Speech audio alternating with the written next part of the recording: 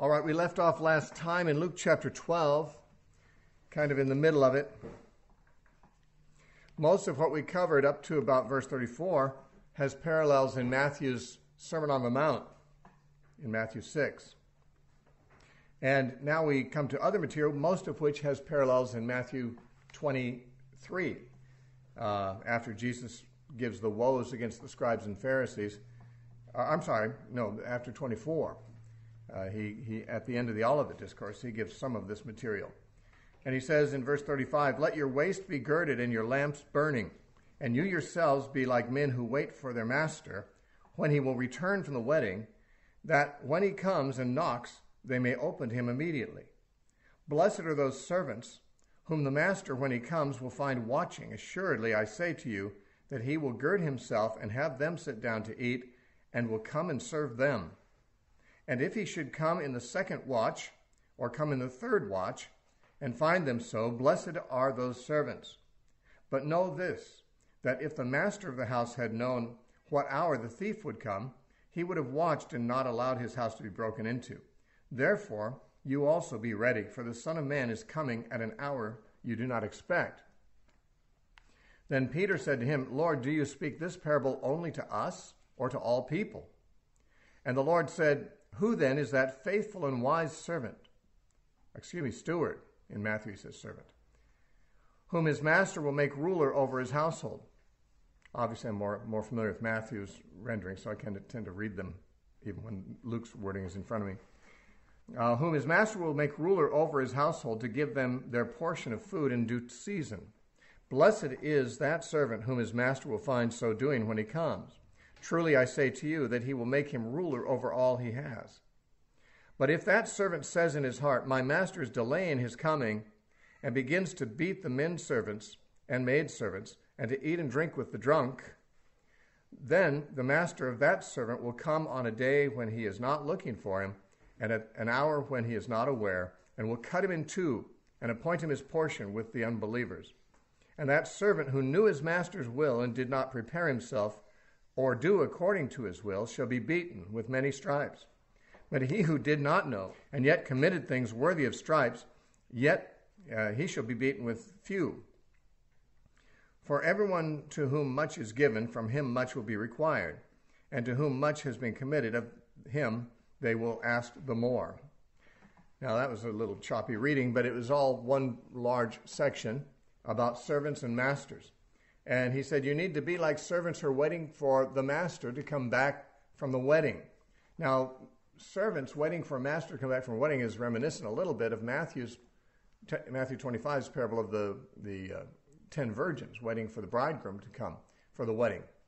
It's not the same concept, but it is uh, illustrating probably the same point, and that is that Jesus is coming back. And when he comes back, he expects us to be found waiting for him, expecting him, occupied with the work he has assigned to us. And so that is basically what he's talking about. He also slips in a, an analogy of a man guarding his house from a thief, not knowing when the thief will arrive. He is ready at all times for the thief. Now, servants waiting for their master to return, and a man, a householder waiting, you know, because he believes a thief is coming and being ready at all times, are two different ways of saying that we don't know when Jesus will return. And it's important that when he does come, we are involved in what he has given us to do, uh, that we are not surprised. It's interesting that Jesus said that the master, if he finds his servants doing what they should be doing, verse 37 says, I say to you that he will gird himself and have them sit down and eat, and he will come and serve them. Now, girding himself, no doubt, is referring to what Jesus did when he washed the disciples' feet, when he girded himself with a towel and served his disciples. Now, it's not common for a master to serve his uh, servants. In fact, it's unheard of. In fact, in Luke 17, we have Jesus indicating that the norm is uh, that it would be unthinkable for a master to serve his servants. He says in Luke 17, 7, which of you, having a servant plowing or tending sheep, will say to him when he has come in from the field, Come at once and sit down and eat?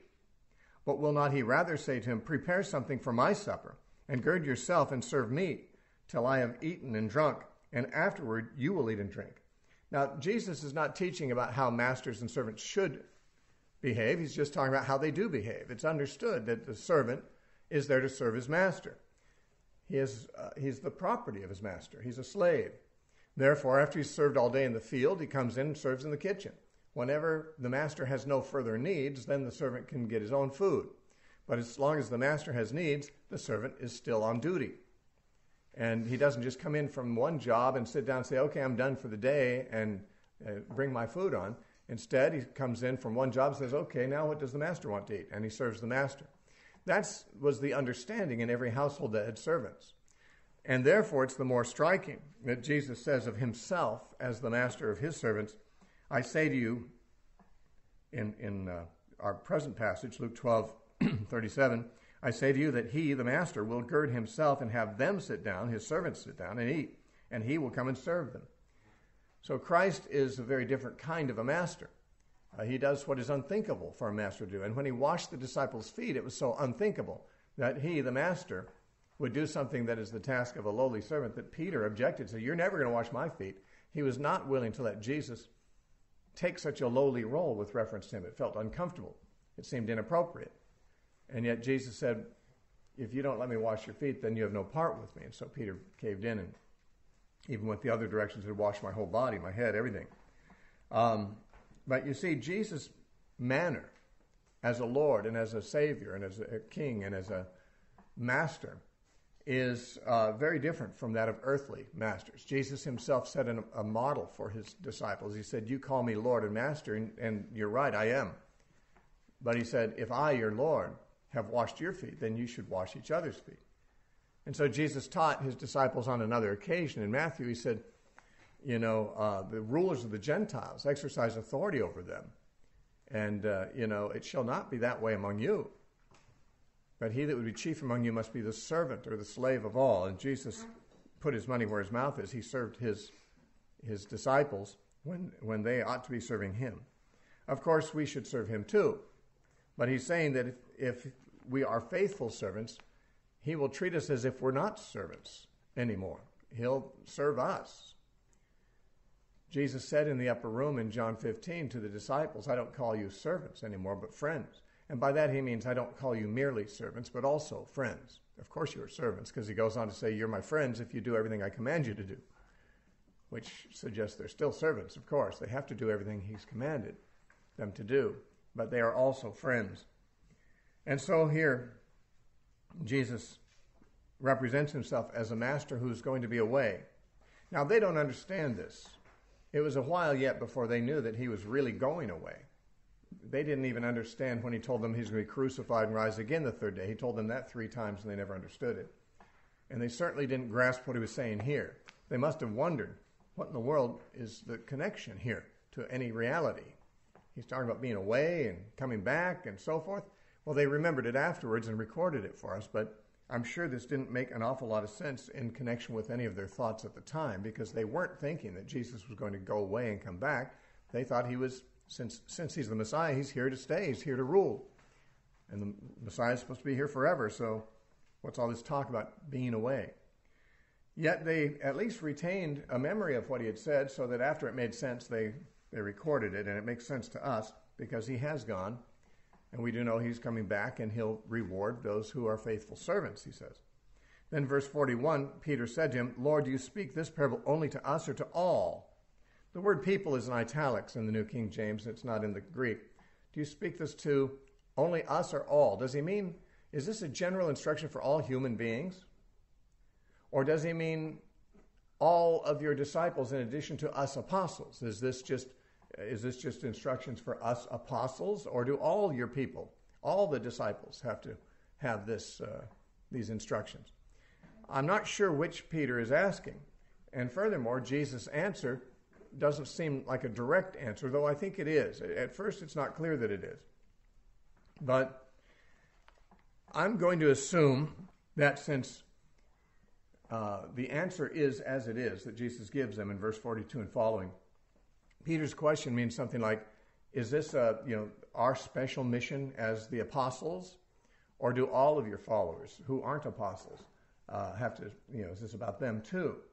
Now, Jesus' answer is that the Lord said, Who then is that faithful and wise steward whom his master will make ruler over his household to give them their portion of food in due season? Blessed is that servant whom his master will find so doing when he comes. Truly I say to you that he will make him ruler over all that he has. Now, if Peter is saying, is this instruction only for those of us who are the 12 apostles, or is this for everybody who's a follower of yours? Jesus' answer is very pertinent. Any steward, not just apostles, but who is who's that faithful steward who's been given responsibility? Well, we know from later scriptures that all Christians are given stewardship. And Peter, for example, who asked this question, later wrote on this subject in 1 Peter chapter 4. And I think he must have, he, he might even have been thinking about this conversation he had with Jesus on the occasion that he wrote this. He says in 1 Peter 4 10 and 11, as each one has received a gift, here the word gift is charisma, a, a spiritual gift from God, minister it to one another as good stewards of the manifold grace of God. Okay, so everyone has received a gift, a spiritual gift, which is some aspect of the many varied, the many faceted grace of God. Each one, according to the grace given to us, has a particular gift. Now, he says, if you've received a gift, and everyone has, then minister it to one another. The word minister means serve. So take whatever gift God has given you and serve the body, serve your brothers. It's like the master has given a steward an assignment to minister to his fellow servants, or as Jesus said, whom his master has uh, will. Uh, Lord said, "Who is that faithful and wise steward whom his master will make ruler over his household to give them food, give them their portion of food in due season?" The idea is, if God has given you something, you're a steward of it to minister it to others, to give it to others, to, to feed others, not necessarily always physically. In fact, with spiritual gifts, more often than not, it could be spiritual food. But in 1 Peter 4 10 and 11, after he says that we should take these gifts that God's given us and minister to one another with them, he says in verse 11, If anyone speaks, let him speak as the oracles of God. If anyone ministers, which means serves, let him do it as of the ability which God supplies, in that in all things God may be glorified through Jesus Christ, to whom belong the glory and the dominion forever and ever. Amen. Now, here he's saying that there are gifts. Some of them involve speaking, and some of them involve serving. He says, if you've received a gift, be a good steward of that gift by ministering to others with it. And that applies whether your gift is in the area of speaking. If you speak, then speak as the oracles of God. Or if your, your gift is in the area of serving in some practical way, well, then do it according to the ability God gives you in a way that glorifies God. The point here is that there are different kinds of gifts that God has given people in His church, but everyone has received some kind of gift, even if it's just serving or just talking. Um, it's a gift that God has for you to minister to others, to give His servants food in their season. And Peter says you got to be a good steward of that. And so Peter, who wrote that, had also earlier had this conversation with Jesus where he said, you know, this business about servants being busy about your business and watching for you and being diligent, is that just for us apostles or for everyone? And the Lord said, well, who is that good and faithful steward? Well, the answer is any steward, obviously. I'm applying this to anyone who's a steward of mine whom his master will make ruler over his household to give them por- their portion of food in due season. God has given you assignment to feed his household in one way or another with whatever gift he has made you the steward of. P- Joseph was this way in Potiphar's house. Joseph was a steward. Everything that Potiphar had was entrusted to Joseph, and what was he supposed to do? He's supposed to feed the servants and manage the household. He's supposed to make his master, uh, you know, well off. And uh, and so that's where we stand in God's household. He's given each one something, something that they can contribute either in a practical area or in a spiritual area directly. Speaking gifts could be evangelism, could be prophecy, could be teaching, it could be tongues and interpretation, it could be word of wisdom, word of knowledge, exhortation. These are all gifts that are mentioned in Scripture. and they are speaking gifts. If one has a gift like that, Peter says, use it as the oracle, speak as the oracle of God. That is, speak with the gravity of someone who's speaking on God's behalf through the ministry of the Holy Spirit given, the, the revelation or the insight given by the Spirit. It's a spiritual gift we're talking about. But likewise, if someone serves, and that would mean gifts of helps or gifts of showing mercy or gifts of leadership or gift of giving, I mean, any practical kind of service provided, that too is a gift. And Peter says, do that as of the ability which God gives you so that God will be glorified. So even if it's just a, a serving or giving or leading or showing mercy to others, that is something to be done for the glory of God. That's being a good steward of the gift that God has given you. And Jesus said in Luke 12 43, Blessed is that servant whom his master will find so doing when he comes. If he's given you assignment, do it and hope that you're still doing it when he shows up, because he gives this other scenario. It says in verse 45, But if that servant says in his heart, My master is delaying his coming, and begins to beat uh, the men servants and maid servants, and to eat and drink with the drunk. In other words, if he thinks, Well, I've got some time here, the master's gone for a while, I'll get back to my chores before he gets back, but in the meantime, I'm going to go out and party. And I'm going to abuse my fellow servants. I'm going to just do things that are not pleasing to the master, uh, hoping, of course, that I'll be I'll correct that behavior before he shows up. But because the servant doesn't know when the master is going to show up, he doesn't have the leisure and the luxury of letting his guard down because the master, he said, is going to come at a day he's not thinking of him, not looking for him. Verse 46. And at an hour when he's not aware, and will cut him in two and appoint him his portion with the unbelievers. Now that's one fate that will fall befall some servants. There's two other fates mentioned in verses 47 and 48, apparently for other servants, depending on how it's going, when Jesus shows up and finds them. Verse 47 says, And that servant who knew his master's will and did not prepare himself or do according to his master's will will be beaten with many stripes. That's a bad punishment, but it's not as severe as being cut in two and given your portion with the hypocrites. So there are some who backslide altogether, apparently, and they'll be given their portion with the unbelievers. And that's apparently hell. But there are servants who maybe they haven't backslidden, but they've neglected their duties. And some have neglected duties that they knew they were assigned, and others neglected duties that they didn't know they were assigned. He said, The one who knew his master's will and didn't do it will be beaten with many stripes, but he who did not know, yet committed things worthy of stripes, shall be beaten with few. Now, he makes it very clear that God's judgment will be proportionate based upon things that really mitigate guilt. If a person neglected to do what they're supposed to do, but they didn't know they're supposed to, well, they can hardly be given a severe beating for that. Uh, and there may be some punishment due if they've done harm to other people or, or done what they shouldn't do, but if it was ignorant, it's more or less innocent, then of course culpability will not be assigned at as great a level. It, this is clearly saying that the punishment of sinners will be at different levels. Even the, even the chastening or the punishment of God's servants when he comes back. I don't know exactly what this looks like for every, every kind of person in every circumstance, but it's obvious that Jesus has three different kinds of punishment in mind. There's those who have totally backslidden, and you know, they get their portion with the hypocrites. And there's those who are servants who are neglecting their duties, apparently not backslidden, but not very diligent or not, not uh, faithfully doing all that they should do. And they'll be punished regardless, I mean, they'll be punished in various degrees depending on how much they should have known or did know. And he says, For everyone to whom much is given, from him much will be required, obviously. Yeah, if you've been given more, much more can be expected of you than others. And we, of course, have been given more than almost everybody in the world. We have more money, more freedom, and more access to the scriptures, more um, availability of media to, to reach the world, to help the world. Uh, eh, those in this room in particular have unusual gift of liberty to be to set aside some weeks and just sit around and fellowship with other people and study the Bible. How many people in the world have that opportunity? That's such a rare opportunity. Now, those who are given much, and we are probably given more than about 99.99999% of the world in terms of opportunities.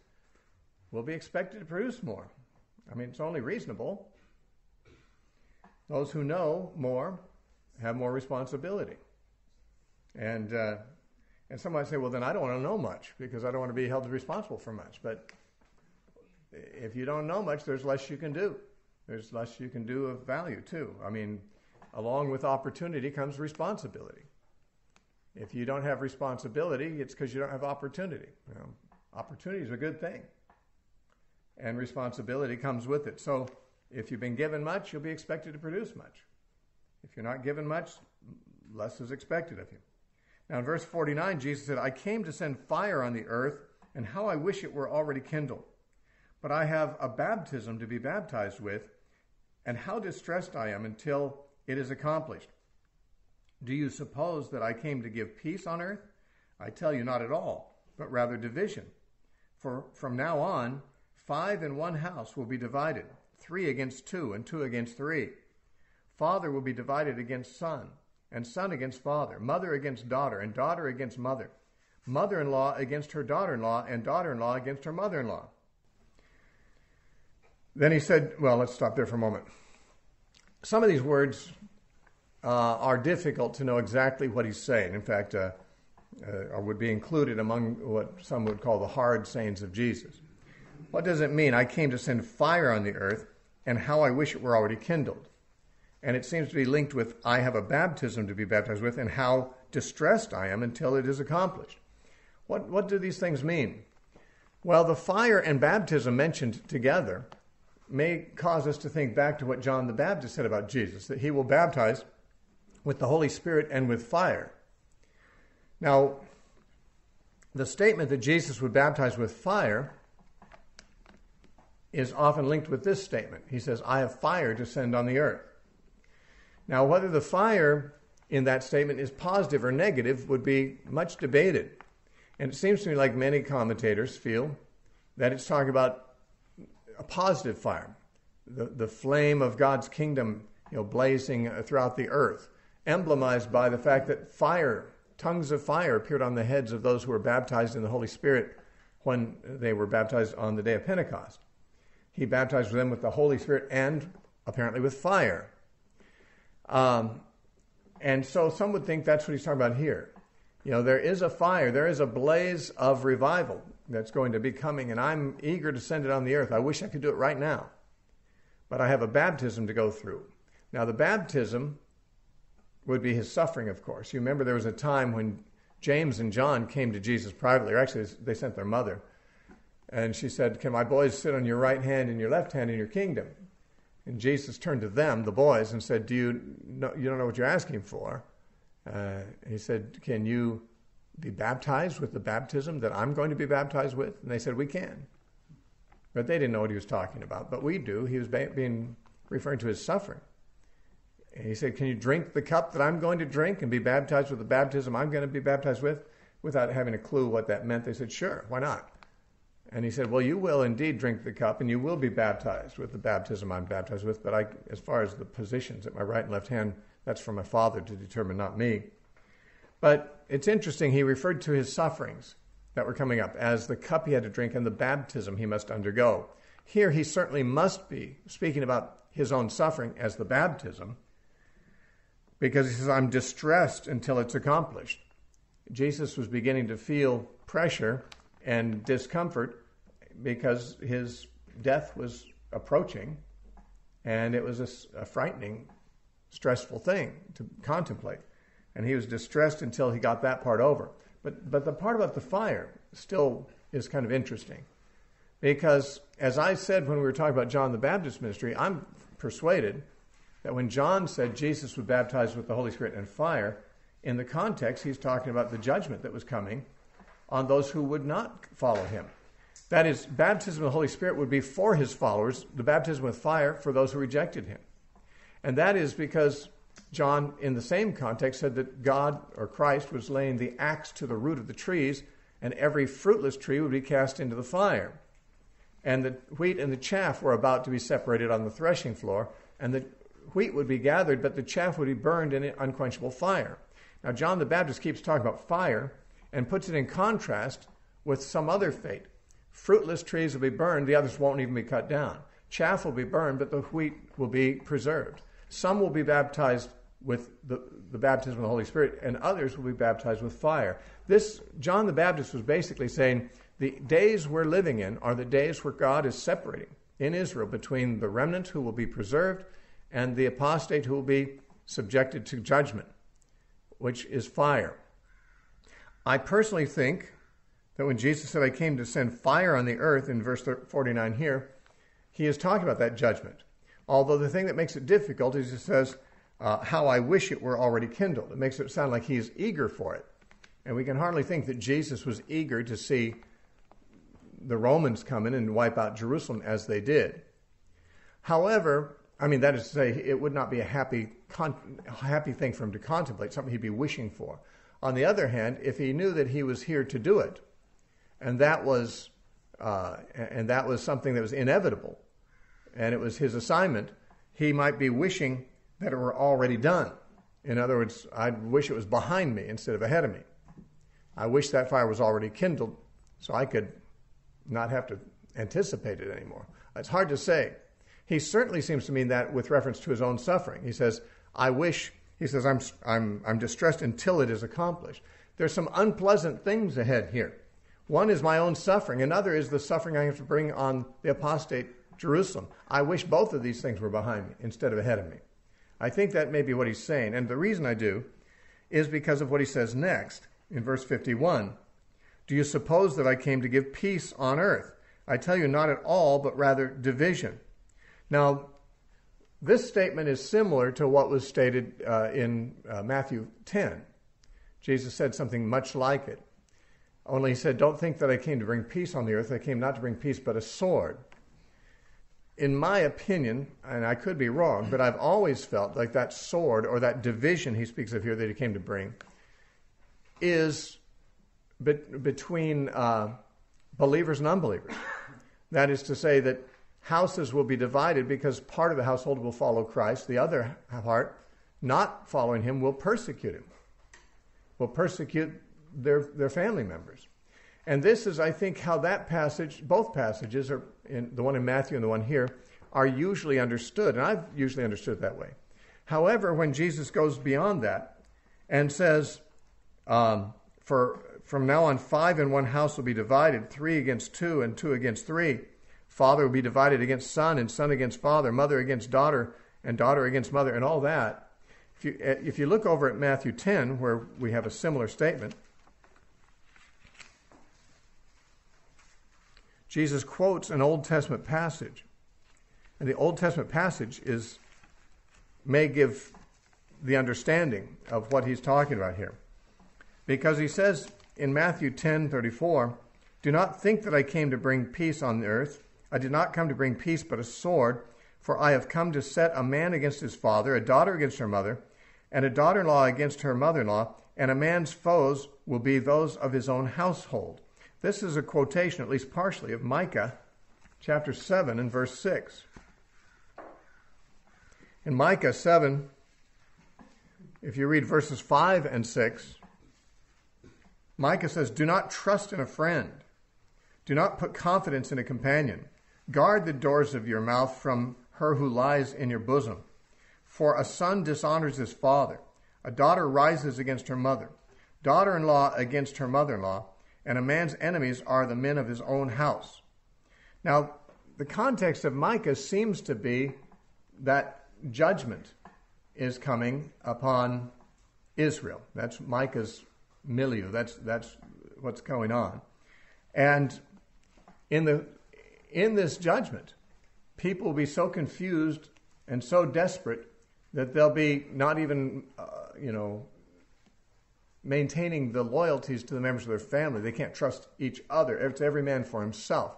Such a desperate situation the nation's in that people will be just looking out for themselves. Even their family members won't matter to them in their uh, frantic and desperate attempt to escape the problems that are coming upon them.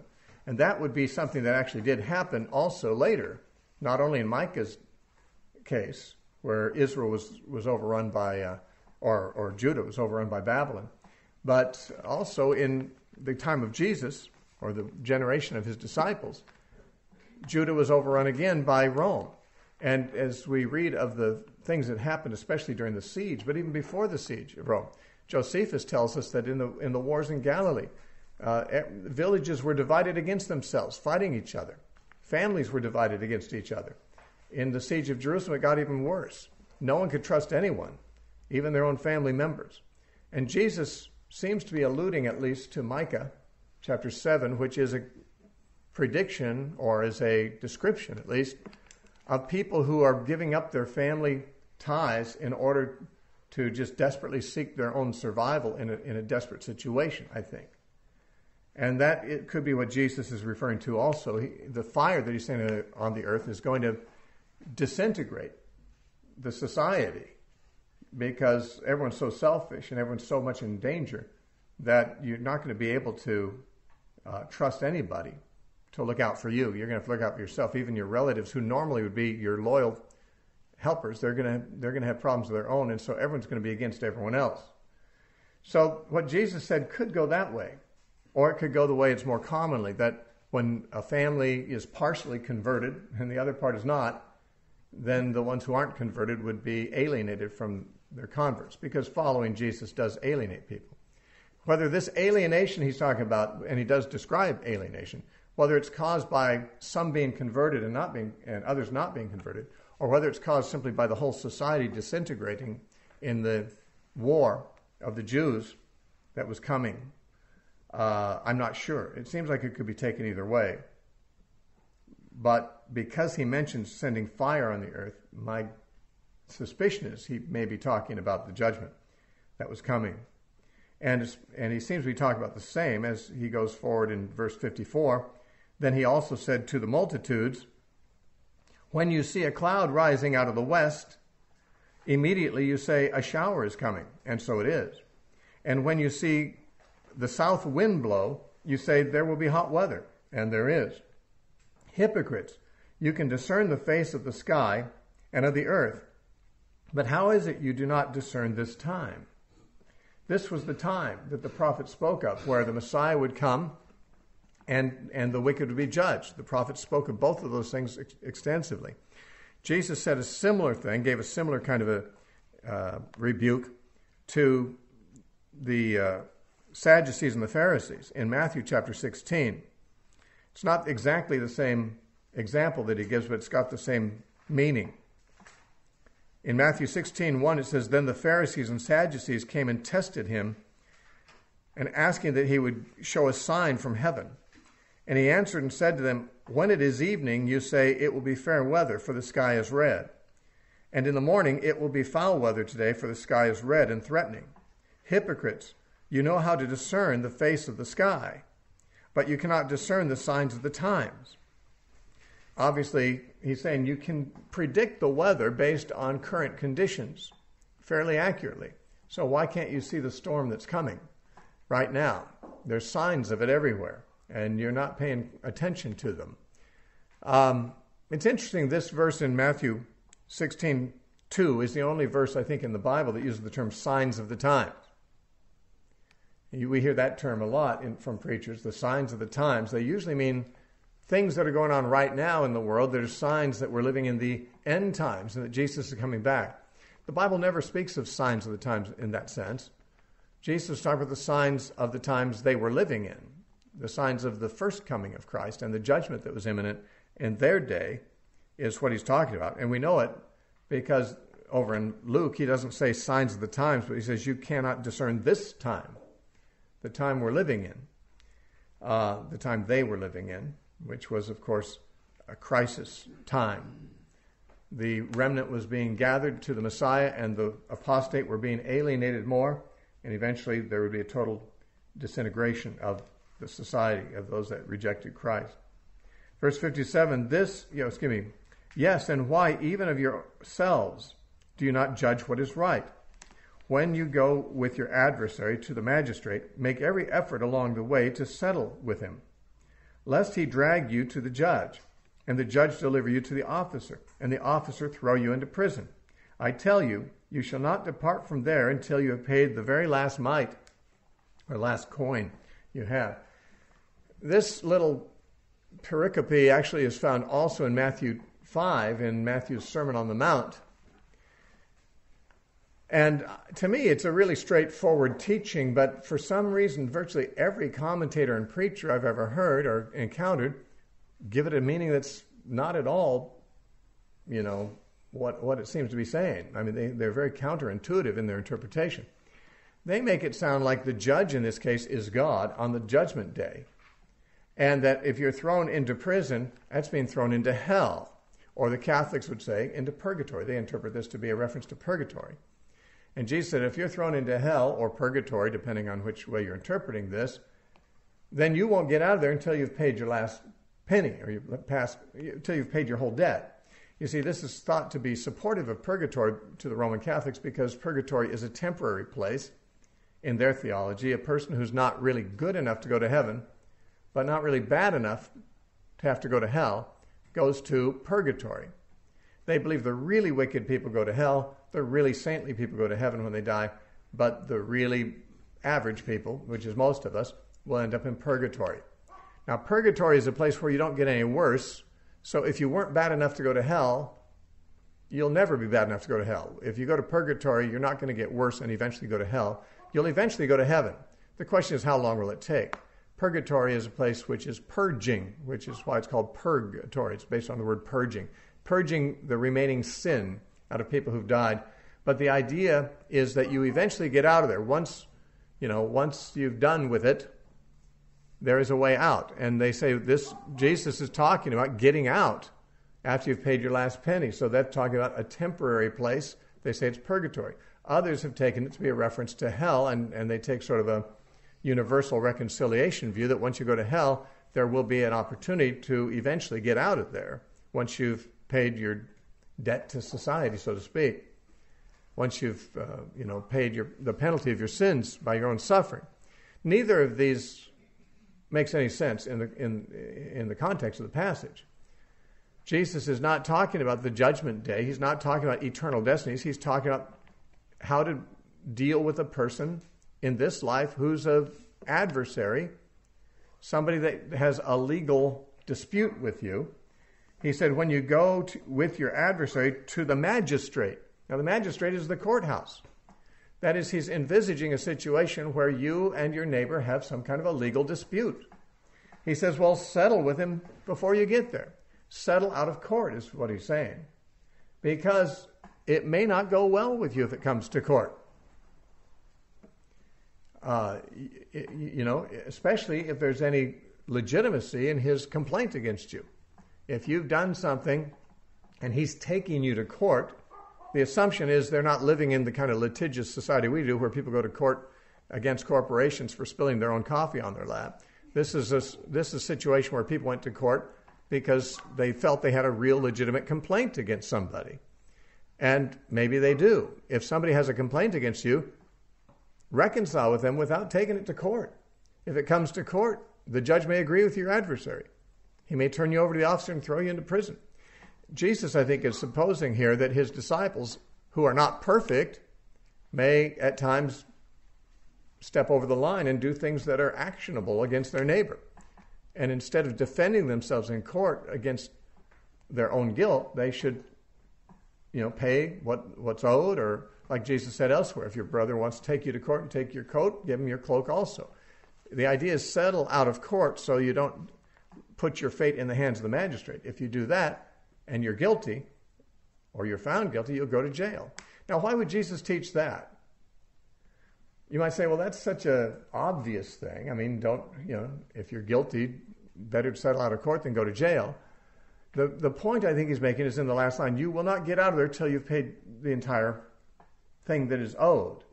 And I believe what he's arguing against is that Christians may at times think that because God is on their side, things will always go well for them. But if they're guilty of crimes, or if they've done things that have hurt their neighbor, uh, God's not going to bail them out of that. If they've done something that is actionable and they go to jail, don't think God's going to send an angel to spring them out like he did Peter. Peter was not guilty of anything. Peter was put in jail in Acts chapter 12 for being a Christian, and an angel came and let him out. Paul and Silas were singing in prison, but they were innocent, and God sent an earthquake and broke the jails open. God can let his people out of jail, but if you're guilty of something and the court finds you guilty, God's not going to do any special miracles to get you out of there. So avoid doing those things. Avoid any unjust behavior to your neighbor, I believe he's saying. There's really nothing in this that would point in the direction of the judgment day or of God being the judge or the prison being hell or purgatory, anything like that. There's not really any suggestion that his disciples would take from this that he's talking about the afterlife or eternal destinies or anything like that. Likewise, in, in Matthew, where it's there, it's likewise there's nothing in that in the passage to suggest he's talking about the afterlife, in my opinion. Now, chapter 13, he's still on the subject of what's coming in AD 70, I believe, as we shall see. Says there were present at that season some who told him about the Galileans whose blood Pilate had mingled with their sacrifices.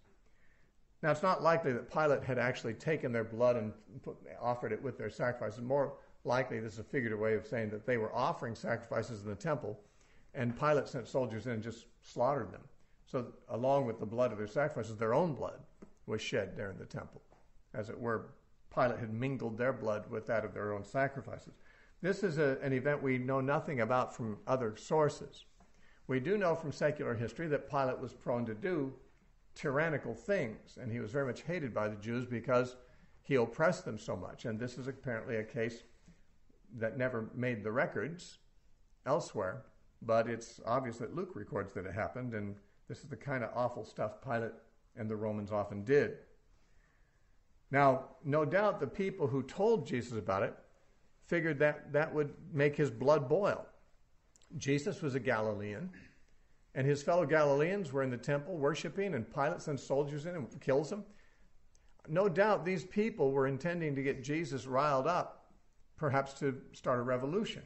Many people thought the Messiah was supposed to do that, and if Jesus was the Messiah, this would be just the kind of thing to trigger the, the revolution. Here's Pilate doing an atrocity against some of Jesus' fellow Galileans.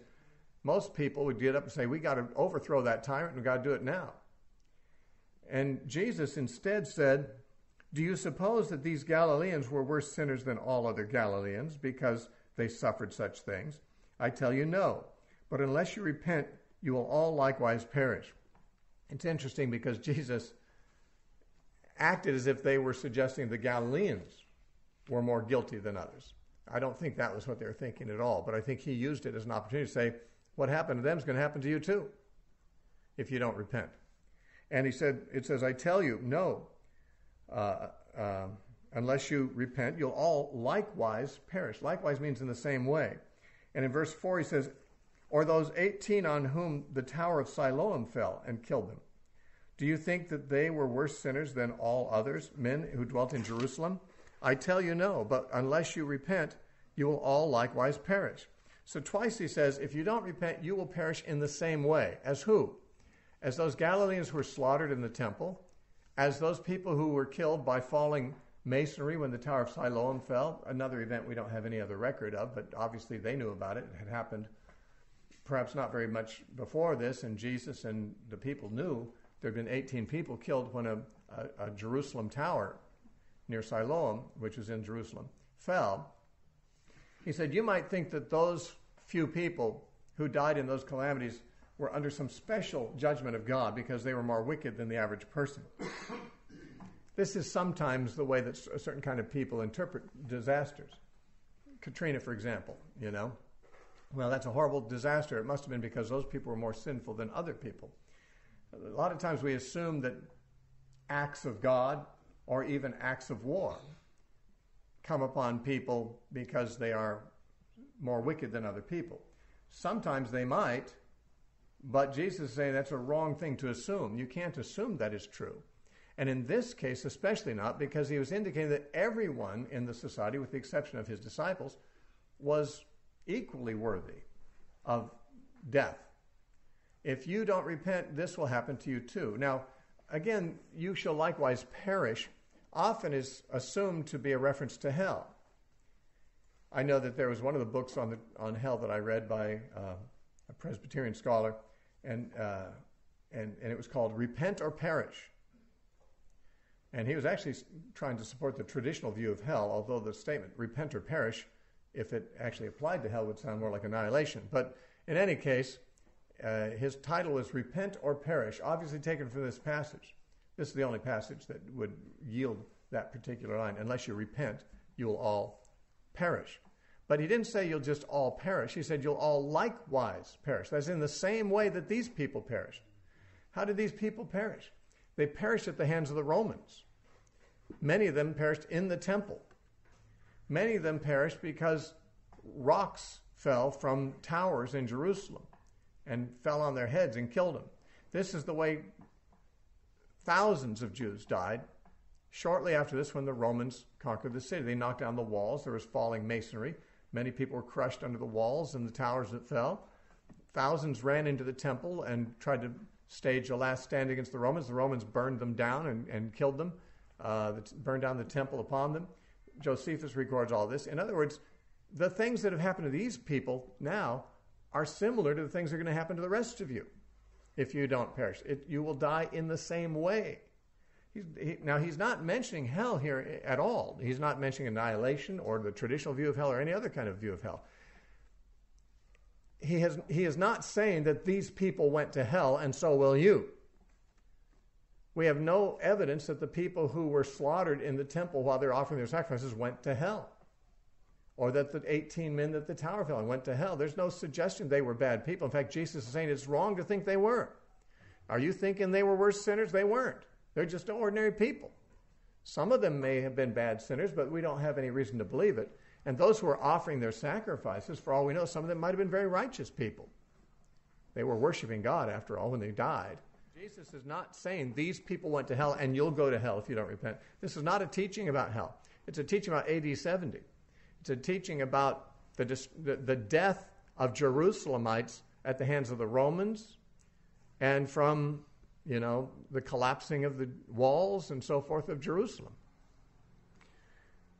At least seems so to me. I, I, can't think of any argument to make this a passage that even alludes to hell at all, though it's very commonly used by preachers to suggest that it is. Now, verse 6 He also spoke this parable A certain man had a fig tree planted in his vineyard, and he came seeking fruit on it and found none. Then he said to the keeper of his vineyard, Look, for three years I've come seeking fruit on this tree, and I find none. Cut it down. Why does it use up the ground? But he answered and said to him, Sir, let it alone this year also, until I dig around it and fertilize it. And if it bears fruit, well. But if not, after that you can cut it down. Now, this little parable is not found in any of the other Gospels. This is the only place you find it. It seems, I mean, uh, it, there's no explanation of the parable given to us. He doesn't explain who the, uh, who the owner is or who the keeper of the vineyard is or, or what the tree represents, but it's not very difficult to assign meanings to this that seem to be the only meanings that present themselves as possibilities. I don't know of even two possibilities. Maybe there are. But I think everyone can see that the fig tree here is representative of Israel in the days of Christ. And it has not been bearing fruit. Jesus basically did an acted parable about this later on when he found a fig tree growing on the slopes of Mount Zion and he went looking for fruit and there's no fruit in it so he cursed it and it withered up and died virtually everyone agrees this is a reference to israel jesus came to israel looking for fruit the idea of God looking for fruit from Israel comes initially back from Isaiah 5, where in Isaiah 5, verses 1 through 7, we're told that Israel is like God's vineyard, and he came looking for fruit, and the fruit he was looking for is justice and righteousness. And that he had given Israel every advantage to produce that fruit, but they, for some reason, produced only bad fruit, and so he was going to tear down the hedge and let the wild beasts come and destroy the vineyard. This is his way of saying God has given Israel every opportunity to produce the fruits of justice and righteousness. He's given them the law, he's given them the prophets. Uh, they've got advantages the Gentiles never had. They should be the most just and most righteous society on the planet, but they weren't. They were as oppressive as anyone else, maybe worse than some. And so he said, I've done everything I could to get fruit I wanted from this vineyard, but it's produced bad fruit, so I'm going to just give it over to its enemies. That's Isaiah 5, 1 through 7. Now, when Jesus cursed the fig tree because it didn't have fruit, and it's generally understood by commentators, this is probably a reference to Jesus coming in looking for that fruit, that justice, that righteousness that God's always been looking for from Israel. But the fig tree didn't have the fruit, so it was cursed. In fact, Jesus said, No one will ever eat fruit from you again. And the fig tree withered up. He announced this was the last chance. The fig tree had had other opportunities, but it had never produced the fruit, so there would never be another opportunity. He says, No man shall ever eat fruit from you again, Jesus said, and the fig tree withered up. Now, here's a parable which seems to have the same theme. Here's a fig tree, it's not producing fruit. It's in danger of being cut down because it's just burdening the ground. It's, it's absorbing nutrients from the soil that could be used for better fruit producing plants, but it's not producing a fruit. So the owner of the vineyard says, I think I'm getting rid of this tree. I've been waiting for three years for fruit and it hasn't produced anything. And the keeper of the vineyard says, Well, let's give it a, one more season here. Let me fertilize it. Let me work on it. Maybe we can get some fruit from it. And if not, then let's tear it down. Now, I think what this is saying, and I think almost anyone would reach this conclusion just contemplating it, that Jesus is saying that God has given Israel the past three years, probably the past three years of Jesus' ministry, to bear fruit and they haven't borne the fruit. They have not been responsive to Jesus. And so he's just giving them one more season. He's going to do his best to try to give them every advantage to produce fruit. He'll preach to them, he'll, you know, as it were, fertilize the tree and see if it will he'll he'll put nourishment into it so that it can possibly bear fruit. But if it doesn't, it's going down. Now, this is probably the only passage in the Bible we have that points in the direction pretty strongly of a three and a half year ministry of Jesus. The number of Passovers in Jesus' ministry is disputed. And if there were three, then we know his ministry was at least two and a half years long. If there were four, which seems possible, it was three and a half years long. We don't have anything that tells us exactly how long Jesus' ministry was, but we do have this parable suggesting that this tree had been given three years at this point, and was going to be given apparently a little while longer, not much, maybe a few months, one more season. And so it probably reflects the, the length of Jesus' ministry. And uh, of course, it predicts that if the, Israel does not respond to him in the time allotted, they're going to be destroyed. So we can see that Jesus is talking about AD 70 here. The tree's going to be torn down. If you don't repent, you're going to perish. I have fire to send on the earth. This is a section of Jesus' teaching where the destruction that is impending is threatened, but avoidance of it is also suggested. If you repent, you won't perish. If the tree produces fruit, it won't be cut down. Uh, so Jesus is still giving them a chance, but warning them very strongly this tree's going down if it doesn't produce fruit soon. Verse 10 And he was teaching in one of the synagogues on the Sabbath. And behold, there was a woman who had a spirit of infirmity 18 years, and was bent over and could in no way raise herself up. She had probably, I guess, a hunchback or something like that, some curvature of the spine. This is referred to as a spirit of infirmity. Now, a spirit of infirmity doesn't have to mean an evil spirit or a demon, but I think it may in this case. Many of the demon possessed people that Jesus ministered to only had physical conditions as symptoms. You know, we think of demon possessed people as people who act in a crazy way, and lots of them do. But some of the demon possessed that Jesus delivered were just blind or mute or dumb or, I mean, deaf and so he was able, by casting demons out, to cure these physical conditions. We don't read that their behavior was abnormal. Likewise, this woman, there's no reference to her behavior being affected, but she does have a physical malady, uh, a curvature of her spine, which is said to be a spirit of infirmity. And although Jesus isn't said to cast out a demon, he does say that she is delivered from uh, the devil. Uh, in verse 16, he says, This woman, being a daughter of Abraham, whom Satan has bound for 18 years, shouldn't she be loosed? So this woman has a spirit, and he says Satan has bound her. this sounds as if he's referring to it as a physical condition caused by a spiritual entity. Not all sicknesses are described this way in Scripture, and some sicknesses are just regarded to be organic in nature.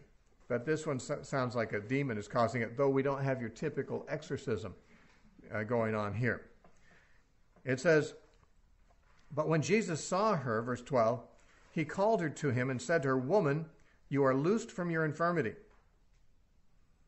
Now, on another occasion, when a woman came to Jesus, the Syrophoenician woman, her daughter was demon possessed and needed to be delivered. We're specifically told her, da- her daughter was vexed with a demon. Jesus said, Your daughter is loosed. And essentially, she was delivered. So Jesus doesn't always speak to the demon and command it to go out. He can just announce, You're free. And then the demon has to go, apparently. There's no specific reference to evil spirit or demon here, but I think the spirit of infirmity is to be understood that way because he says, Woman, you are loosed from your infirmity. And that's similar to what Jesus said about the woman's daughter who was said to be demon possessed. She was loosed also. And he laid his hands on her, and immediately she was made straight and glorified God. But the ruler of the synagogue answered with indignation because Jesus had healed on the Sabbath. And he said to the crowd, There are six days in which men ought to work. Therefore, come and be healed on them, not on the Sabbath day.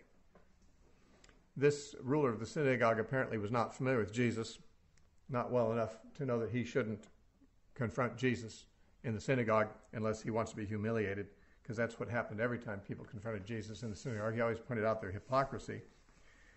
And the Lord answered and said to him, Hypocrite, does not each one of you on the Sabbath loose his ox or his donkey from the stall and lead it away for water? In other words, your donkeys and your livestock have to drink water every day.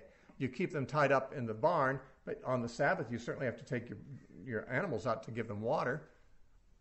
So you unloose them, you untie them to do that. He says, So ought not this woman, being a daughter of Abraham, whom Satan has bound, think of it, for 18 years, be loosed from this bond on the Sabbath?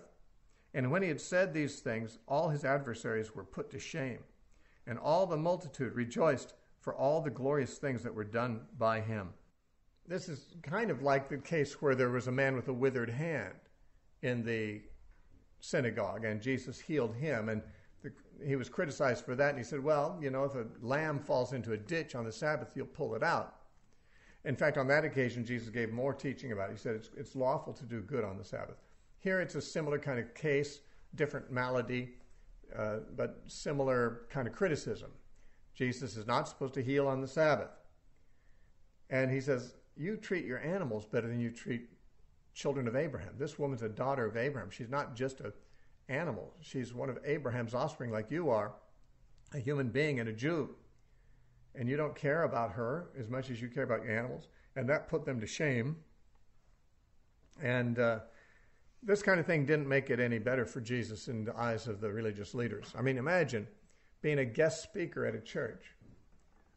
I mean, that'd be a tense situation. I've spoken in people's churches as a guest. I come into a church and Suppose, you know, something I said caused the, the pastor to interrupt me and say, that's not okay to do here. And I, and I rebuked him and called him a hypocrite. I mean, that would be so embarrassing. That'd be so tense. Everyone in the congregation would be, ooh, that's, that's, uh, that doesn't happen every day in church. But it happened most of the days when Jesus went to church. it hasn't happened when I go to church. I actually, I, I've never done that, and I don't expect I ever will. But I could just imagine how that would feel to everybody in the room. Ooh, there's something going on. This tension. These, you know, the pastor and the guest speaker are confronting each other, and the guest speaker is calling the pastor a hypocrite. That that's what happened when Jesus went to the synagogue. He he just confronted the leaders, and uh, he was there to correct what was wrong in their religious lives. And what was wrong in their lives was usually hypocrisy, and judging by a double standard, you know, uh, criticizing someone for healing on the Sabbath, but not criticizing themselves for letting their animals drink on the Sabbath. Jesus points out how inconsistent religion can be. Legalism is almost always inconsistent. There's a certain arbitrariness about it, where a legalistic person will criticize someone on some standard that they've decided to criticize people by, but there are things in their own lives that could be equally criticized on similar standards, and they don't see it. And that's one of the real identifiers of legalism is judging someone by a standard that you wouldn't be able to be, uh, you know, vindicated by the same standard. Jesus said, if you judge by a, a certain measure, that same measure will be used against you. So be careful who you criticize, uh, because it may be that you would have a beam in your own eye where you're trying to remove a speck. And certainly that would be, in this case, the man was trying to remove what he considered a speck in Jesus' eye. You shouldn't be healing on the Sabbath. Or he actually, he didn't have the guts to confront Jesus. He confronted the poor woman. The woman got healed, and he says, "You people don't come here and be healed on the Sabbath day. Get come and be healed the other days." The guy didn't have the have the the guts to stand up to Jesus, but he, he criticized the congregation. So Jesus turned on him and called him a hypocrite and told him he's he's inconsistent and and the man was shamed and deserved to be shamed. But he was not doing anything that other religious leaders of the time wouldn't have done. He was just going by the rules. Uh, they believed that God was more interested in the rules than he was interested in people. Jesus was interested in helping people. And this woman was a daughter of Abraham who needed help. For 18 years, she needed it. And they didn't have any compassion on her. They didn't rejoice that she was fixed after 18 uh, years of being bent over. You'd think they were going to be rejoicing. But the leader doesn't like that. It would happen on the Sabbath. You're breaking the rules. And that's how legalism is. It cares more about rules than it cares about people. And that's the conflict Jesus often had with the religious leaders of the time. That's, that was a fairly consistent problem with them. Breaking the Sabbath was always wrong in their ideas, although every time Jesus defended someone or defended himself for breaking the Sabbath, it was because he was putting people and their needs ahead of the rules. And God cares more about people than he cares about rules. That's why Jesus said the man was not made for the Sabbath, the Sabbath was made for man. The rules are made to benefit man. Man wasn't made because God had a bunch of rules he needed someone to obey. So he said, okay, here's the rules. Let's make some people to, to be in bondage to them. But God made people first, and they are his first concern. And then the rules are made to benefit them.